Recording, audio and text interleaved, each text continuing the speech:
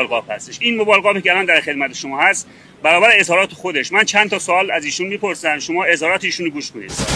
روزی سه چهار تا. روزی سه تا چهار تا موبایل قاپی انجام می‌دادی. بعد کجاها انجام می‌دادی موبایل قاپی تو ساعت شهر.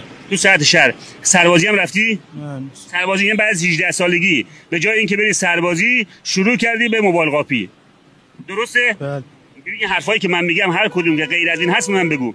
بعد قبل از این که دستگیر بشی یا تو زندان چند فقط سرقت موبایل قاپی داشتی؟ اونجا هم همینجور همین تعداده که الان. الان چند ماه از زندان اومدی بیرون؟ الان هفتش ماه. حدود 120 تا. خب یعنی در این 8 ماه شما 800 تا موبایل قاپی داشتی. درست. دیگه چند موبایل تا موبایل قاپی بعد دو میلیون تا ده میلیون. از دو میلیون تا ده میلیون.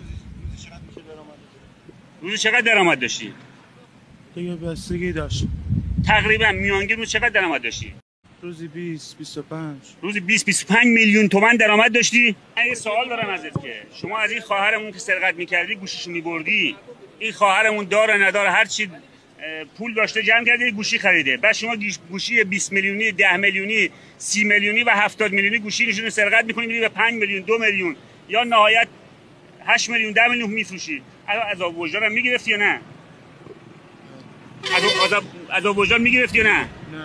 نمی‌گرفتی آره؟ بلندتر حرف بزن. تو راسته بیشترین سرقت موبایل در کجا بود؟ وکیل آباد راسته احمد آباد. روزانه سه تا چهار تا سرقت موبایل داشتی درسته؟ بله. با توجه به اینکه مقام قضایی دستور داده تصاویر این آقایونی که گوشی قاپی می‌کردن منتشر بشه. کجا گوشیتون رو زدن؟ گوشیتون چی بود؟ من منتظر اتوبوسم بودم. ساعت هفت و نیم صبح گوشی من سامسونگ ارزش به صورت مادی نداره. ولی خب بالاخره واسه خریدن همونم ما کلی زحمت کشیده بودیم با این گرونی و دوران اقتصادی الانمون. با چه شیوه ای گوشی شما رو زدن چون من می‌بینم الان استرس هم دارین.